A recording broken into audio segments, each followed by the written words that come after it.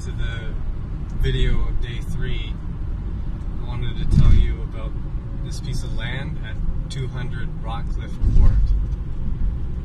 Um, right now, the piece of land is em- well empty. It's got grass and trees and and soil and all of those good things.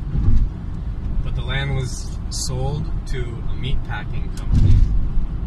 Um, I'm assuming they want to build a meat packing plant there, and that would be not good for a lot of reasons. It's right beside the creek. Um, and the, the main reason that's a concern is flooding. Um,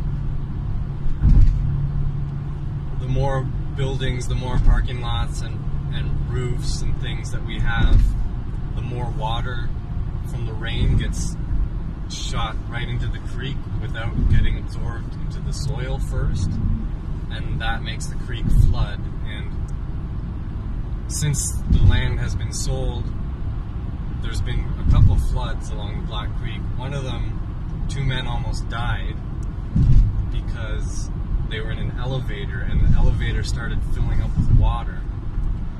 And they would have died if the, the police hadn't gotten there in time. So the land has the city sold the land, but there's a, a thing called judicial review where we can apply to see if that purchase was actually legal. And we, we have an argument because the TRCA, which is the Toronto Region Conservation Authority, in 2014 they recommended that that specific piece of land be used for flood mitigation. So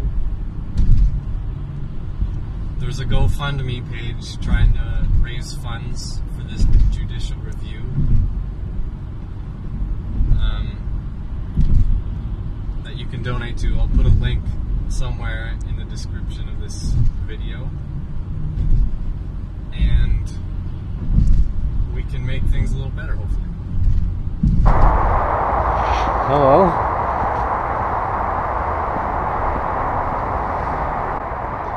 By myself today.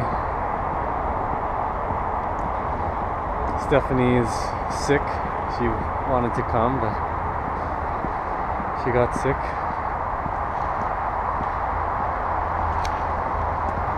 And this is where we left off last time. You may have noticed it's winter now.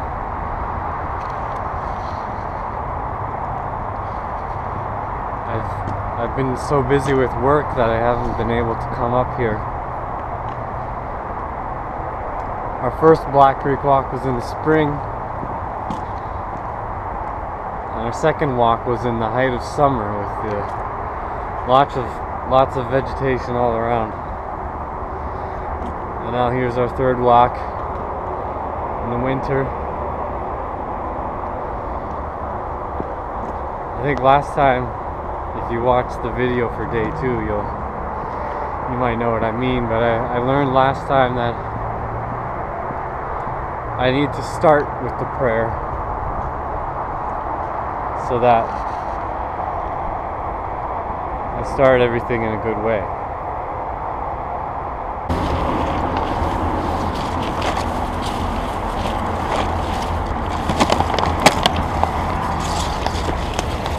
Here we are.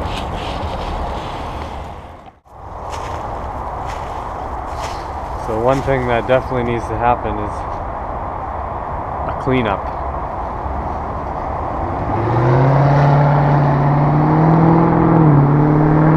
I uh, should have brought a garbage bag. The creek flows under this highway.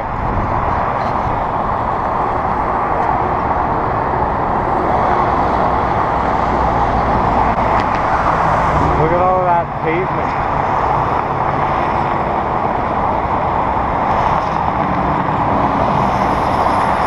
And you'll notice there's drains in the pavement. I wonder where the rainwaters go when they go into those drains.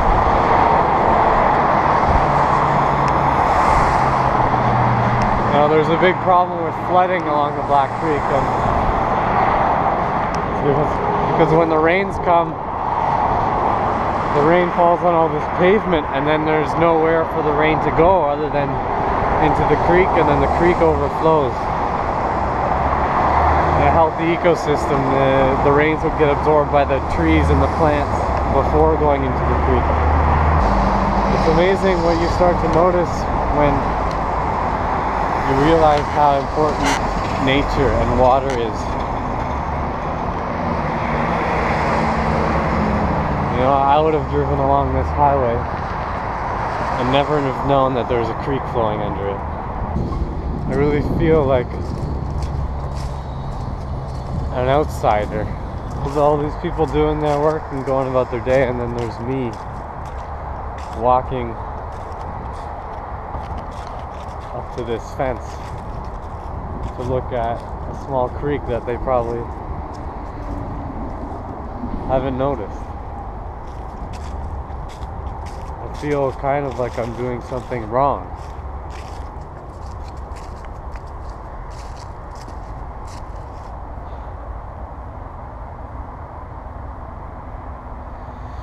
You know, I've, this makes me sad. I've seen this in many other parts of the creek. If you notice, the banks of the creek are manufactured out of this concrete block system held together by steel cables. It's amazing that there's plants going up through this concrete here. Sounds like a cliche by now, but I'm really starting to see how human development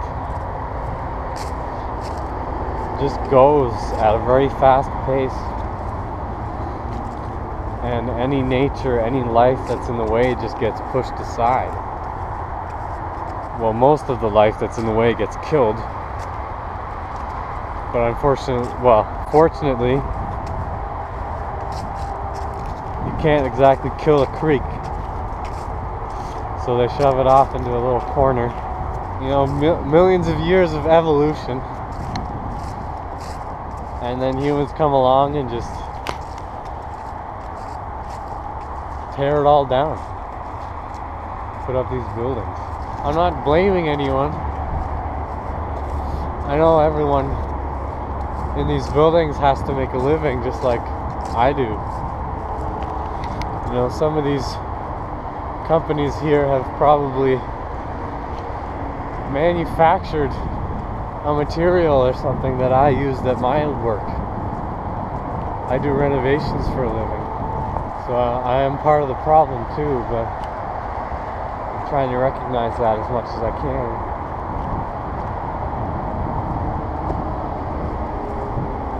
And try to also be a part of the solution.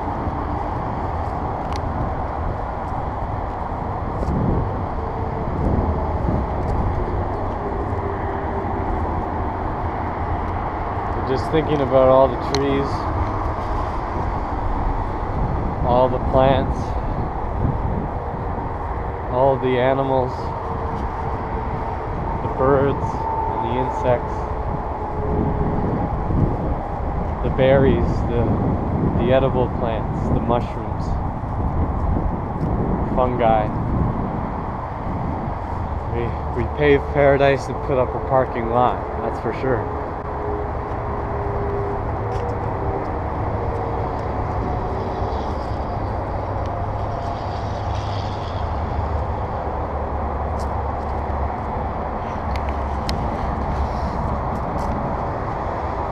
What do we do now? The creek turns at an exact 90 degree angle now.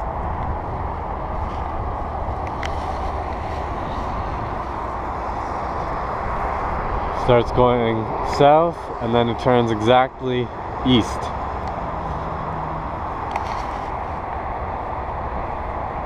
Now, obviously, that's not how the creek originally went. It goes perfectly straight east for quite a ways now.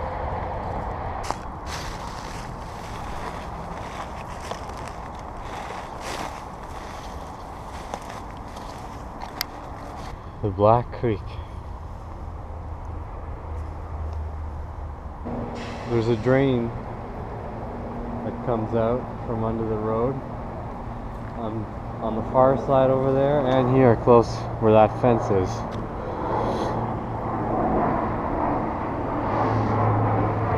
Make all the rain that falls onto these parking lots goes into their drains and then out here. And there's the drain in the parking lot.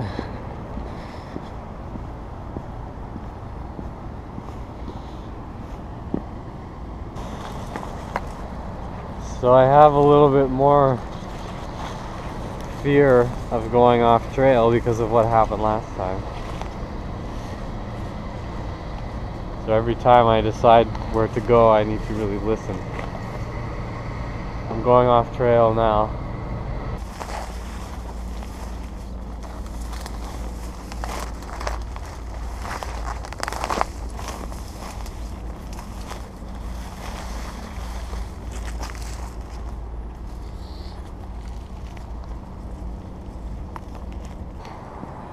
I didn't stay off the trail for very long. Back walking on the parking lots. I don't want to be a downer this whole time. You know, this is all about how we can do something about it. I want to be able to do something about it. And I guess I am by doing this walk but it never feels like I'm doing enough. Creek takes another 90 degree turn to go south again.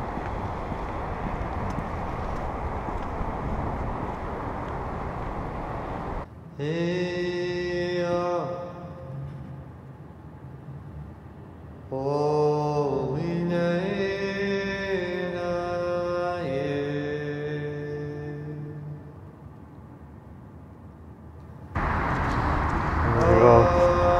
go say hi to the creek. Maybe this is where I'll end the walk for today.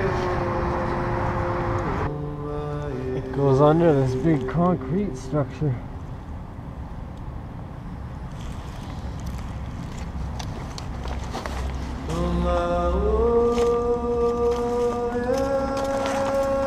I'm gonna go over the concrete structure, see what's in there. Ah, yes.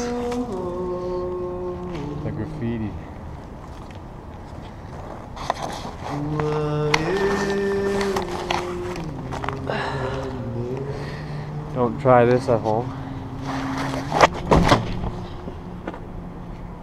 Especially not in winter when there's ice.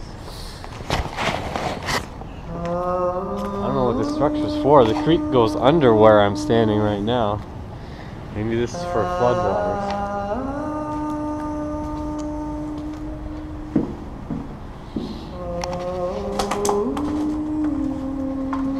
I think I'm gonna offer the creek a song and then make my way back to the car.